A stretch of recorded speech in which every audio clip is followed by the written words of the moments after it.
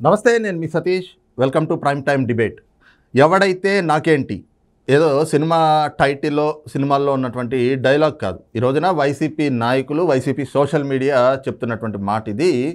ఏదైతే జగన్మోహన్ రెడ్డికి కానీ ఆయన పరిపాలనకి కానీ వ్యతిరేకంగా ఎవరు మాట్లాడినా వాళ్ళు గల్లీ నుంచి ఢిల్లీ వరకు ఎవరైనా కానివ్వండి మేం లెక్క చెయ్యం ఎవడైతే మాకేంటి ఇది ఇప్పుడు కొత్త పంద. అంటే ఇప్పటి వరకు కూడా ఢిల్లీ పెద్దల్ని అంటే కేంద్ర పెద్దల్ని నోట్లోంచి ఒక్క మాట కూడా అనలేనటువంటి జగన్మోహన్ రెడ్డి. రాష్ట్రానికి రావాల్సినటువంటి విభజన హామీలు కానివ్వండి లేకపోతే ప్ర రావాల్సినటువంటి ఆర్థిక ప్రయోజనాలు విభజన హామీలు అలాగే ప్రత్యేక హోదా ఇలా ఏ అంశంలో కూడా కనీసం మాట అయినా కూడా ఎత్తి నోరెత్తి మాట అడిగినటువంటి పరిస్థితి లేదు. ఏ రోజు పల్లెత్తి మాట అన్నటువంటి పరిస్థితి లేదు.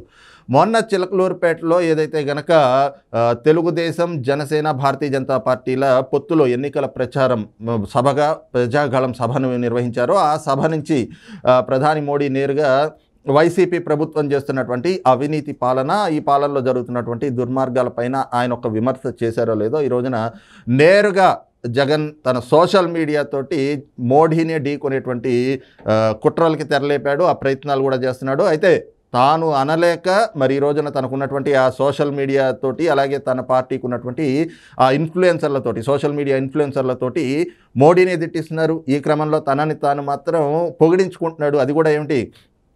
ఇక్కడ ఇది మోడీ గారు రామ మందిరం నిర్మిస్తే రామనామ స్మరణ కాదు ఇక్కడ జగన్మోహన్ స్మరణ జరుగుతూ ఉంది.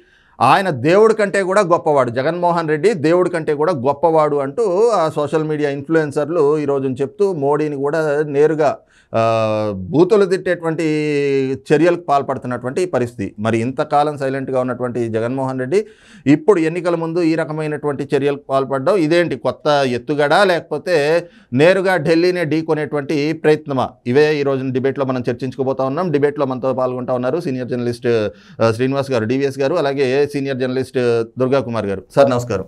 నమస్కారం సతీష్ గారు మన వీక్షకులకు. సార్ డివిఎస్ గారు. ముఖ్యంగా ఇప్పుడు వరకు రాష్ట్రానికి ప్రత్యేక హోదా కానీ పోలవరానికి నిధులు కానీ విభజన హామీలు కానివ్వండి ఆర్థిక ప్రయోజనాలు కావచ్చు లేదంటే విశాఖ స్టీల్ ప్లాంట్ని ప్రైవేటైజేషన్ చేస్తుంటే దానిపైన అన్ని ఉద్యమాలు జరుగుతున్నా ఎక్కడ మాట్లాడిన పరిస్థితి లేదు. అమరావతి రాజధాని నిర్మాణానికి కావాల్సినటువంటి నిధులు ఎక్కడ ఒక్క మాట పల్లెత్తి అడిగినటువంటి పరిస్థితి లేదు.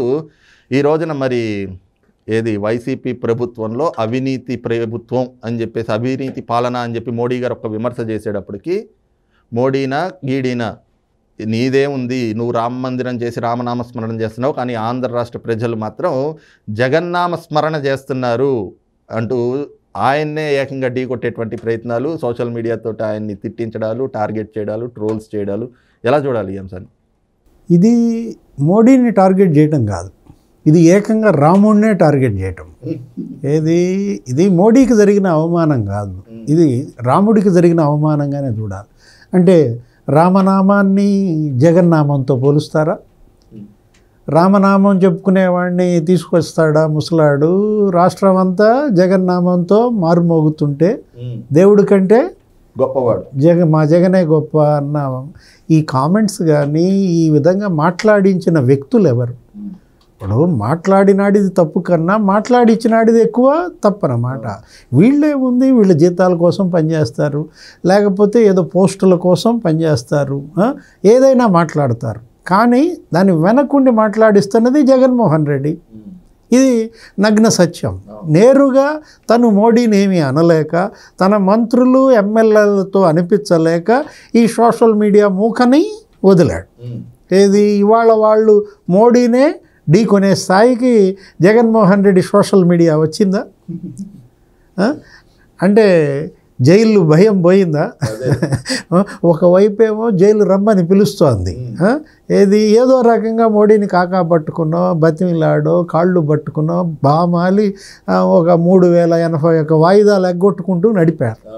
రేపొద్దున తెలుగుదేశం జనసేన బీజేపీ ప్రభుత్వం ఏర్పడుతోంది. రాబోయేది మళ్ళా ఎన్డీఏ ఇప్పుడు చంద్రబాబు అందులో భాగస్వామి అవుతాడు. పవన్ కళ్యాణ్ అందులో భాగస్వామి అయితే తను జైలుకి వెళ్ళాల్సి వస్తుంది.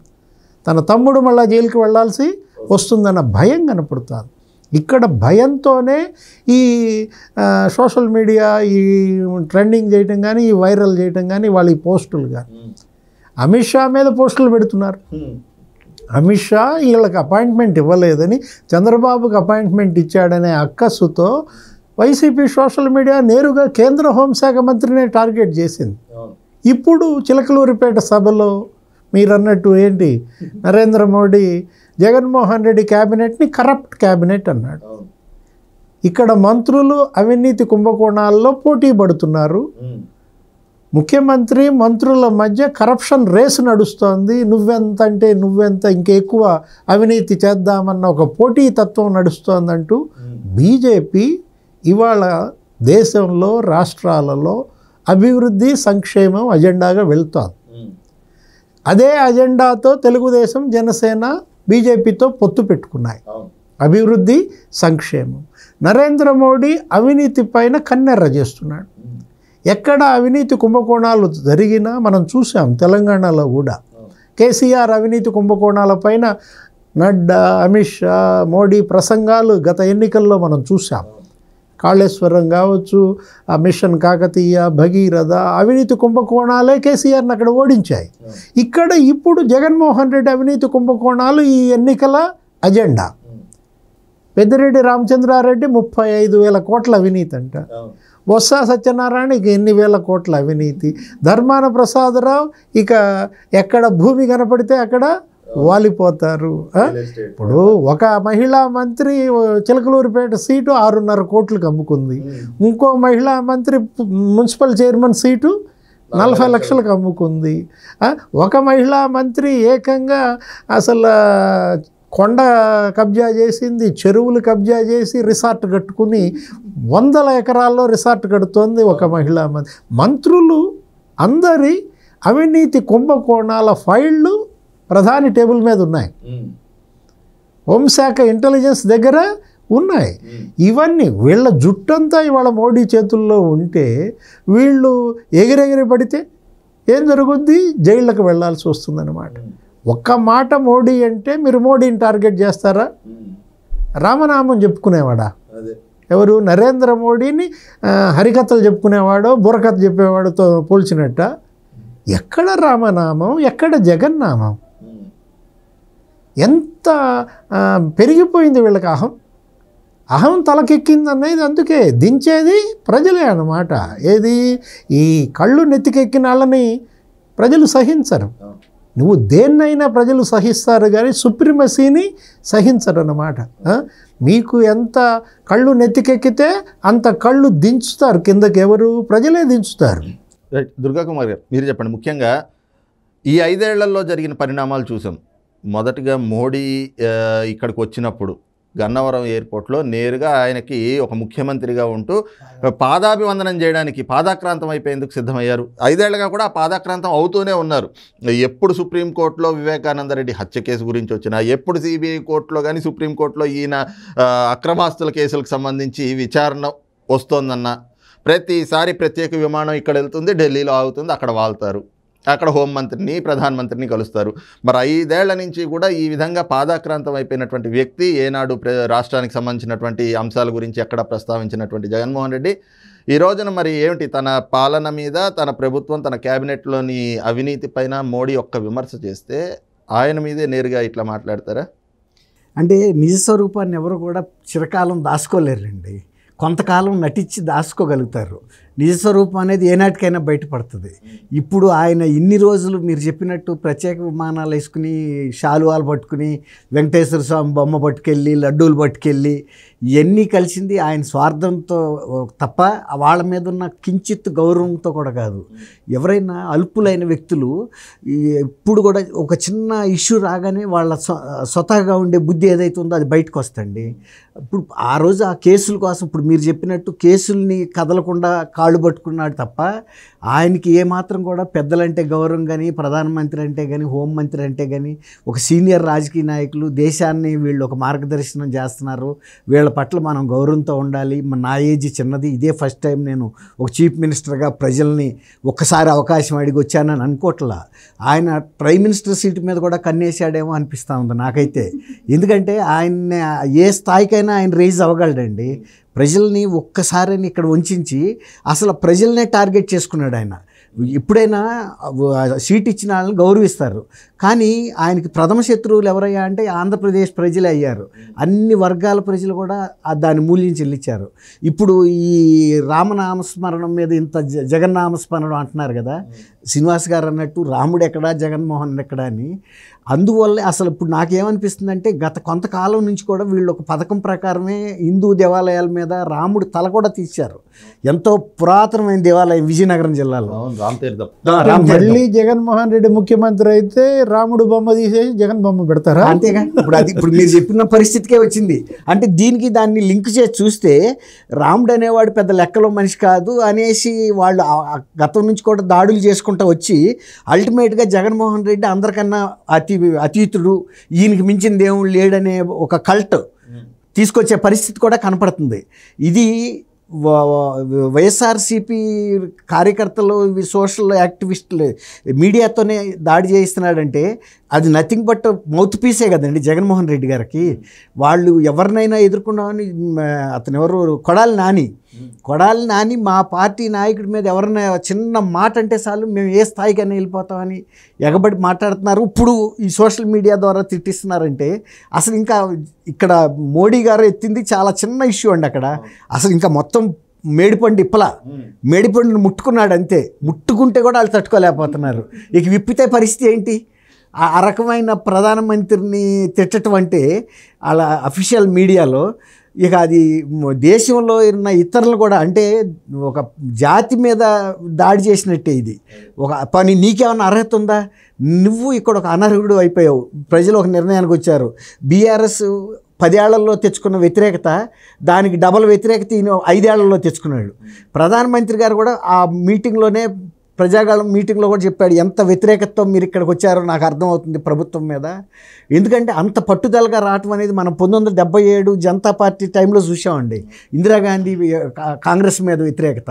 అట్లాగే ఈ అలాంటి ఎక్సెస్ అత్యవసర పరిస్థితుల్లో జరిగిన కంటే కూడా దారుణమైన పరిణామాలు ఆంధ్రప్రదేశ్లో జరిగినాయి. అందువల్ల అంత వ్యతిరేకత పెళ్ళుబుకింది. ఆ పెళ్ళుబుకటం వాళ్ళకి తెలుసు ఇక మనం ఈ దీంట్లో కొట్టుకుపోతున్నామని. కొట్టుకుపోయేటప్పుడు ఇక ఎవడైతే మనకేంటి? ఇప్పుడు ఆరిపోయే దీపానికి వెలుగు ఎక్కువని వెళ్ళేటప్పుడు నాలుగు తిట్లన్నా తిట్టిపోదామనే స్థితిగా కనపడుతుంది. ఒక రాజకీయ పార్టీ గౌరవంగా మన్ననగా నాలుగు కాలాలు మన్నేవాడు ఎవడో కూడా ఈ విధంగా కూస్తు విషయానికే ప్రధానమంత్రిని ఆ విధంగా దూషించడం లేకపోతే ఇందులోకి మళ్ళీ రాముడిని తీసుకురావటం రాముడిని తీసుకురావాల్సిన అవసరం అంటే? మీరు అంటున్నారు రాముడిని తీసుకొచ్చారు రాముడు ఏముంది అని చెప్పి. రోజా గారు గతంలోనే చెప్పారు కదా ఏమి ఋషికొండ మీద ఇల్లు కట్టుకుంటే తప్పే ఉంది. మరి వెంకటేశ్వర స్వామి తిరుమల కొండ మీద లేడా? సింహాద్రప్పన్న అక్కడ కొండ మీద లేడా? అంటే అప్పుడు అట్లాగే పోల్చారు ఆయన. అవును మీరు అన్నట్టు ఆయన ఒక దేవుడు కొండల మీద ఉన్నప్పుడు కాబట్టి మా జగన్మోహన్ జగన్ అన్న కూడా ఋషికొండ మీద ఉంటే తప్పేంటని సార్ డివిఎస్ గారు మీరు చెప్పండి. ముఖ్యంగా అంటే ఇప్పటి వరకు కూడా ఆయన చూస్తే ప్రతిపక్షాలని దూషించాడు. ప్రతిపక్షాలు ఆయన్ని విమర్శించాయని చెప్పేసి అని వాళ్ళ మంత్రులు అసెంబ్లీ సాక్షిగా కూడా ఈ బూతు పురాణాలు ఇప్పడం మనం చూసాము. ఇంకా సోషల్ మీడియా అంటారా వాళ్ళైతే కనుక చెలరేగిపోయారు. ఇంకా ఏ స్థాయికి అంటే ఆ స్థాయికి చెలరేగిపోయినటువంటి పరిస్థితులు ఇక సొంత కుటుంబం. కన్న తల్లిని సొంత చెల్లిని కూడా తిట్టించాడు. కానీ నరేంద్ర మోడీ గారి విషయంలో ఇప్పటి వరకు ఒక్కనాడు కూడా నోరెత్తినటువంటి పరిస్థితి లేదు. ఎక్కడ ఆయన్ని విమర్శించే సాహసం ఏది రాష్ట్రానికి రావాల్సినటువంటి ప్రయోజనాలు రాలేదు అంటే ఆ వెళ్ళి వాళ్ళ దగ్గర అడిగి తెచ్చుకునే ప్రయత్నము చేయలేదు. అడిగే ప్రయత్నం కూడా చేయలేదు. ఆ సాహసం చేయలేదు. ఆయన్ని ఎక్కడ ఒక మాట అనేటువంటి సాహసం కూడా చేయలేదు. అలాంటిది ఈ రోజున నేరుగా ఆయన్ని ఢీకొనేలాగా ఆయన సోషల్ మీడియాతో ఈ రకంగా తిట్టిస్తున్నారు అంటే ఇది ఏంటి అంటే ఢీకొనడానికి సిద్ధమయ్యామనా లేకపోతే ఏం ప్రజల్ని నమ్మిద్దామనా ఎలా అర్థం చేసుకోవాలి? నేరుగా నరేంద్ర మోడీని ప్రశ్నించలేక కేంద్ర ప్రభుత్వాన్ని టార్గెట్ చేయలేక పేరుని నాని వీళ్ళంతా కూడా ఏంటి చంద్రబాబు పవన్ కళ్యాణ్ పొత్తుని విమర్శిస్తున్నారు. ఏ హామీ ఇచ్చారని మీరు పొత్తు పెట్టుకున్నారు? ప్రత్యేక హోదా ఇస్తానన్నారా? విభజన చట్టంలో హామీలు అమలు చేస్తానన్నారా? స్టీల్ ప్లాంట్ హామీ లభించిందా? లేకపోతే పోర్టు హామీ వచ్చిందా? మనకి ఇస్తానన్నటువంటి వెనకబడిన జిల్లాల అభివృద్ధి నిధులు ఇచ్చారా? ఇలా చంద్రబాబుని పవన్ కళ్యాణ్ని పేరుని నాని మిగతా మంత్రులు మాజీలు ప్రశ్నించటం అంతకన్నా జోక్ ఇంకోట్లేదు అదే పెద్ద హాస్యాస్పదం. ప్రశ్నించాల్సింది ప్రశ్న వేసుకోవాల్సింది వాళ్ళని వాళ్ళు. ఎవరు? వాళ్ళు ప్రతిపక్షాలు. ఎవరు?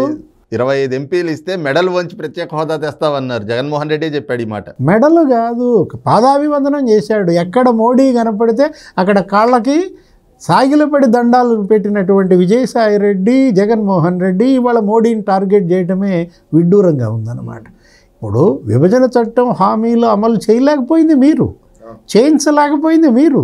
ప్రత్యేక హోదా తేలేకపోయింది మీరు. మీరు చంద్రబాబుని పవన్ కళ్యాణ్ని చేసే విమర్శలు మళ్ళీ మీకే తగులుతాయి. మిస్ఫైర్ అవుతున్న విషయం తెలుసుకోలేకపోతున్నారు జగన్మోహన్ రెడ్డి అనుచరులు మంత్రులు వీళ్ళంతా కూడా. ఇప్పుడు మోడీని టార్గెట్ చేస్తున్నారు మోడీని సోషల్ మీడియా దాడి చేస్తుంది. నిన్న దాకా మనం చూసాం తల్లిని టార్గెట్ చేశారు చెల్లిని టార్గెట్ చేశారు షర్మిలని సునీతని చివరికి షర్మిల పుట్టుకనే ప్రశ్నించారు. వాళ్ళు షర్మిల డిఎన్ఏ రాజశేఖర రెడ్డి డిఎన్ఏ కాదనడం ద్వారా షర్మిల అసలు వాళ్ళు అవమానించింది ఎవరిని? కన్న తల్లిని అవమానించారు. అది అది విజయమ్మకు జరిగిన అవమానం. ఈ రోజుకి విజయమ్మ బయటికి ఎందుకు రావట్లేదు? మొన్న జరిగిన వివేక హత్య అదే వివేక వర్ధంతి సభకు విజయం ఎందుకు హాజరు కాలేకపోయింది సౌభాగ్యమ్మ షర్మిల సునీత ముగ్గురు అక్కడ హాజరై ఈ హత్యకి కారణం పలానా అవినాష్ రెడ్డి. జగన్మోహన్ రెడ్డి అండ చూసుకునే వీళ్ళు హత్య చేశారు అని వాళ్ళంతా మాట్లాడుతున్నప్పుడు. మరి విజయమ్మ మాట్లాడచ్చు కదా? జగన్మోహన్ రెడ్డికి మద్దతుగా ఎందుకని మాట్లాడలేదు? అంటే ఏంటి? తల్లిని అవమానించారు చెల్లిని అవమానించారు. ఇక మోడీని అవమానించడంలో నువ్వు ఇంకా చెప్పుకునేది ఏముంది ఇవాళ YCP social media Jaganmohan Reddy ఈ మంత్రుల యొక్క బాధితులు కానీ వ్యక్తి కానీ బాధితులు కానీ వర్గం కానీ ఏదన్నా ఉందా? తెలుగుదేశం అధినేత చంద్రబాబు ప్రతి స్పీచ్లో ఇదే మాట్లాడుతున్నారు. ఇప్పుడు కొత్తగా ఇప్పుడు నువ్వు చెప్పిన దాని ప్రకారం జగన్మోహన్ రెడ్డి బాధితుల జాబితాలో మోడీ చేరారా ఇది నరేంద్ర మోడీ ఇవాళ జగన్ బాధితుడయ్యాడు. ఎట్లా? ఇలా హరికథలు చెప్పుకునేవాడిని తీసుకొచ్చారు రామనామం చెప్పుకునేవాడిని చిలకలూరుపేట తెచ్చారు. రామనామం అంటే ఎంత అవహేళన? నువ్వు ఓట్ల కోసం మరి పోయి మునిగావుగా? ఎవరు? ఆ స్వరూపానంద. హరిద్వా హరిద్వారా? జనం మర్చిపోతారా? జనం యొక్క జ్ఞాపక శక్తి స్వల్పం అనుకోవడం వెర్రితనం. ఇవన్నీ జనం యొక్క నిక్షిప్తంలో ఉన్నాయి. ఏది? జగన్మోహన్ రెడ్డిని హరిద్వార్ తీసుకెళ్ళటం అక్కడ మునకలాంచటం? అక్కడ అప్పటిని హిందూ మతంలో చేర్చటం. అప్పుడు ఈ రామనామం అక్కరకు వచ్చిందా? ఇప్పుడు జగన్నామమే మీకు కావాల్సి వచ్చిందా దేవుడా జగన్మోహన్ రెడ్డి. దేవుడితో జగన్మోహన్ రెడ్డిని పోలుస్తారు దేవుడి కంటే గొప్పవాడు. సార్ దుర్గా కుమార్ గారు మీరు చెప్పండి. అంటే ఇప్పుడు డివిఎస్ గారు అన్నట్లుగా రాష్ట్రానికి సంబంధించినటువంటి అంశాల్లో ఎక్కడా మాట్లాడలేదు ఏ అంశంలో కూడా ఎక్కడ ఎలాంటి ప్రయత్నాలు చేయలేదు. కానీ ఈ రోజున ఎన్నికల ముంగట ఇది ఖచ్చితంగా చర్చలోకి వస్తుంది. ఎందుకంటే ప్రతిపక్షాలు ఇవే టార్గెట్ చేస్తున్నాయి. అయితే వాళ్ళు తేకపోగా ప్రతిపక్షాల పైన విమర్శలు చేయడం మీరు పొత్తెందుకు పెట్టుకున్నారు అనేటువంటి ప్రశ్నలు లేవనెత్తడం ఇవన్నీ కూడా ఏంటి అంటే ప్రజల్ని మళ్ళీ మభ్యపెట్టచ్చు అని చేసేటువంటి ప్రయత్నమా? ప్రజలు మరి అవి నమ్మేటువంటి పరిస్థితుల్లో ఉన్నారు ఇప్పుడు ఆంధ్ర రాష్ట్రంలో? మోడీని నేరుగా టార్గెట్ చేయడం అనే అసలు కుట్ర ఏమై ఉంటుందంటారు? ఇప్పుడు మీరు అన్నట్టు ప్రజలు ఇంకొక వంచనకి గురవుతానికి వాళ్ళు నమ్మకపోవచ్చు. చేసేవాడికి నమ్మకం అయితే ఉండాలి కదండి. ప్రయత్నించే వాళ్ళలో విశ్వాసం ఉండాలి. నేను ఎన్నిసార్లైనా మోసం చేయగలను అని.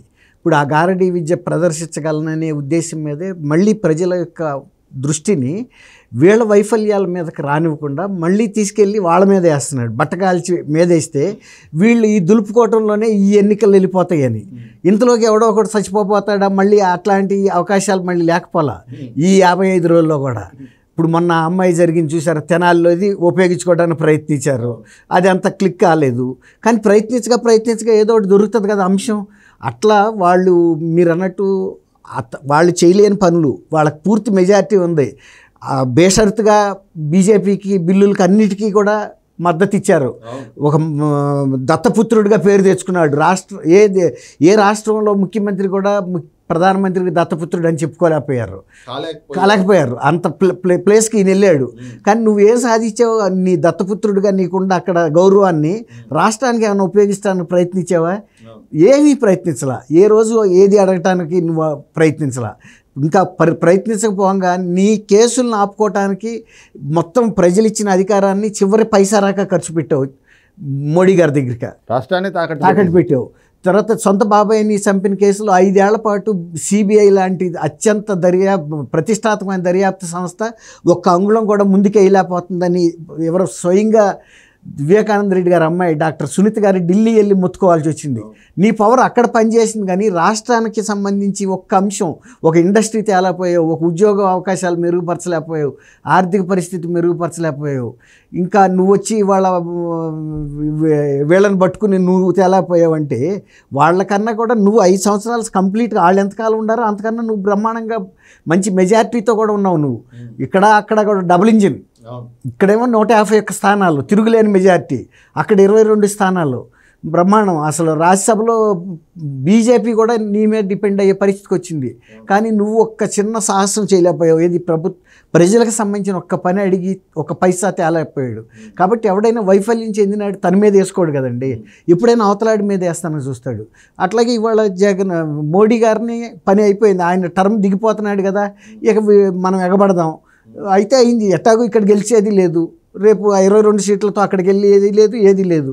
కాబట్టి మన నిజ స్వరూపం వెంకటేశ్వర స్వామి చూపిస్తారు చూడండి నిజపాత దర్శనం అని. ఇవాళ ఆయనకు కూడా అర్థమైంది జగన్ అంటే ఏంటనేది. మోడీ గారు లాంటి వ్యక్తికి కూడా ఇట్లాంటి వ్యక్తిన మనం ఇన్నాళ్ళు సమర్థించింది. ఆంధ్రప్రదేశ్ ప్రజల ప్రయోజనాలకి మనం సరే న్యాయం చేయలేకపోయాము.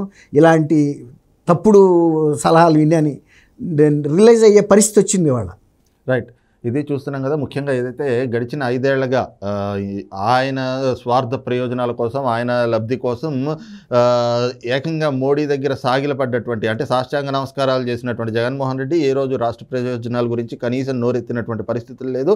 మరి రాష్ట్రానికి ఈ రోజున కేంద్ర ప్రభుత్వమో లేదా మోడీ ఏమీ చేయలేదు అని చెప్తున్నటువంటి వాళ్ళు మరి ఈ ఐదేళ్ళు కనీసం ఒక్కటంటే ఒక్క విమర్శ చేయలేకపోయారు. కానీ ఈ రోజున ఎన్నికల ముందు ఏదైతే వాళ్ళ వైఫల్యాలను అలాగే వాళ్ళ ప్రభుత్వంలో అంటే జగన్మోహన్ రెడ్డి ప్రభుత్వం ప్రభుత్వంలో జరుగుతున్నటువంటి అవినీతిని అవినీతి పైన ఒక విమర్శ చేసేటప్పటికి నేరుగా మోడీని టార్గెట్ చేస్తూ ఆయననే తిట్టిచ్చేటువంటి తిట్టించేటువంటి చర్యలకు పూనుకోవడం జగన్మోహన్ రెడ్డి నిజస్వరూపం ఏమిటి అనేటువంటిది తేటతెల్లం చేస్తుంది. అయితే ఇదే సమయంలో ఏదైతే దేవుడి కంటే కూడా జగన్మోహన్ రెడ్డి గొప్పవాడు మోడీ కేవలం రామనామ స్మరణం చేసుకునేటువంటి వాడు అనేటువంటి మాటల్ని ప్రస్తావనలోకి తెస్తున్నారు అంటే వాళ్ళకి అంటే వైసీపీ నాయకులకి జగన్మోహన్ రెడ్డికి ఆ సోషల్ మీడియా ఇన్ఫ్లుయెన్సర్లకి వీళ్ళకి ఏ స్థాయి చిన్న లోకు అయిపోయారు దేవుళ్ళు అంటే అనేటువంటిది కూడా ఈ రోజున ప్రజల్లో ఒక చర్చ జరుగుతుంది. కాబట్టి జగన్మోహన్ రెడ్డి వేసేటువంటి ఎన్నికల ట్రాప్లో జనం పడేటువంటి పరిస్థితి లేదు. రేపు ఎన్నికల్లో ఖచ్చితంగా గట్టి గుణపాఠం అయితే కనుక జగన్మోహన్ రెడ్డికి నేర్పి తీరుతారు అన్నటువంటి భావాన్ని కూడా సీనియర్ జర్నలిస్ట్ దుర్గాకుమార్ గారు అలాగే సీనియర్ జర్నలిస్ట్ డివిఎస్ గారు వ్యక్తం చేస్తూ ఉన్నారు. ఇది ఈరోజు ఉన్నటువంటి డిబేట్. రేపు మరొక అంశంతో మళ్ళీ ముందుకు వస్తాం. Thank you sir. Thank you Satish garu వీక్షకులు.